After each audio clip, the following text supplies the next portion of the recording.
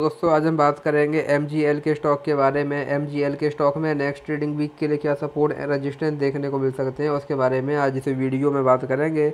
हम अगर यहाँ पर स्टॉक की बात करें तो हम देखेंगे जो ये स्टॉक है, ये हमको पिछले एक लंबे समय से यहाँ पर लगातार क्लियर अप ट्रेंड में देखने को मिल रहा है। हमको यहाँ पर स्टॉक में लगातार हाइयर हाई हाइयर लो वाला पैटर्न यहाँ पर देखने को मिल रहा है।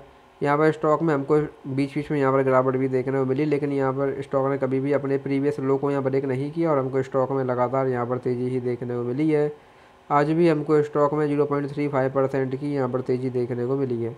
तो यहाँ से अभी हम स्टॉक में बात करें, यहाँ से अगर अभी स्टॉक में और तेज़ी आती है तो यहाँ से अभी और तेज़ी की कंडीशन में हमारे पास स्टॉक में वन नाइन वन सेवन का पहला यहाँ पर रजिस्टेंस देखने को मिलेगा। अगर स्टॉक ने इसको भी यहाँ ब्रेक किया, देन यहाँ से हमको स्टॉक में अगेन एक बड़ी तेज़ी, एक बड़ी बाइंग यहाँ पर देखने को मिल सकती है। इसके बाद हमको यहाँ पर स्टॉक में टू थाउज़ेंड देन यहाँ से हमको स्टॉक में twenty two hundred and then यहाँ से हमको स्टॉक में ट्वेंटी फोर हंड्रेड और twenty six twenty eight hundred तक के लेवल्स भी यहाँ से अभी देखने को मिल सकते हैं।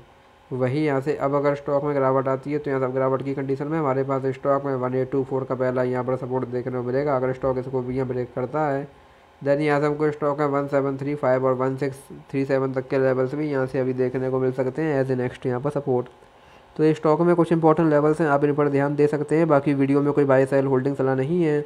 वीडियो केवल एजुकेशनल पर्पज़ के लिए धन्यवाद।